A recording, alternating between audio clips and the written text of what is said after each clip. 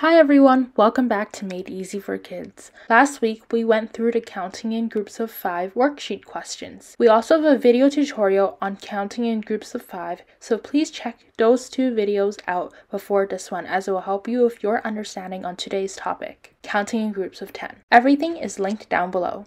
Let's get started.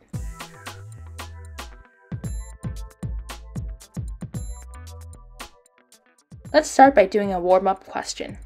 How many cakes are there? You can pause this video to count. Let's count together. One, two, three, four, five, six, seven, eight, nine, ten. There are 10 cakes. Good job! If you need more help in counting, please check out this counting numbers 1 to 100 table we have on our website. It will be linked down below so you can print it out and practice a little bit every day. How do you count in groups of 10? To count in groups of 10, we have to count every number 10 by 10. For example, 10, 20, 30, 40. There's a difference of 10 in between every number. 10 plus 10 is 20. 20 plus 10 is 30. And 30 plus 10 is 40. Let's move on to a new activity. Your job is to identify if the numbers are increasing by groups of 2, 5, or 10. You can pause the video to work on it.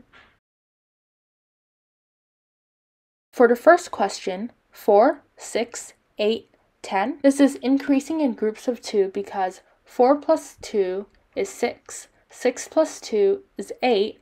8 plus 2 is 10. For the second question, it is increasing by tens every time. This is because 20 plus 10 is 30, 30 plus 10 is 40, and 40 plus 10 is 50. How about for the third question? Do you know how much it's increasing by? That's right, it's increasing by fives every time. 15 plus 5 is 20, 20 plus 5 is 25, and 25 plus 5 is 30.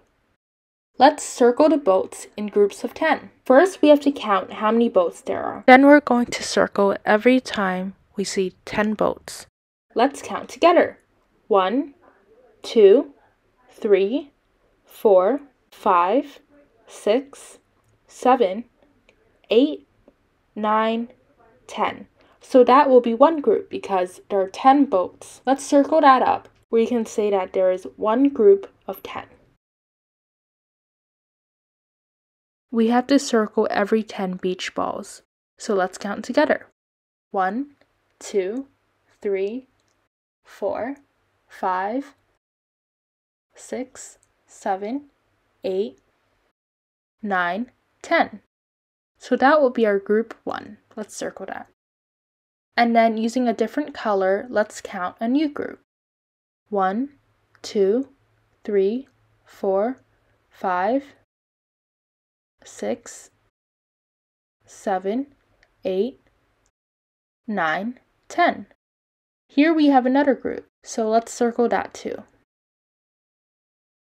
We have two groups of 10 and we have 20 beach balls in total.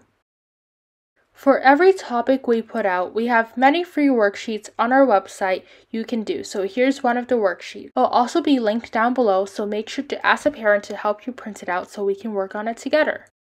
Let's work on the first question together. Here we have to circle the flowers in groups of 10. So let's count how many flowers there are. 1, 2, 3, 4, 5, 6, 7, 8, 9, 10. There are 10 flowers and so let's circle that into one group. And that's all the flowers we have for this question so there will just be one group of 10. And that's it for this question. Remember to ask a parent to help you print this worksheet out so you can work on it. And in the next video, we'll go through all the answers to this worksheet step by step. Check out our website as we have many free video tutorials, worksheets, and printables you can do. Make sure to follow our social media pages, Facebook and Instagram at Made Easy for Kids, so you can get regular updates on how you can improve your math skills.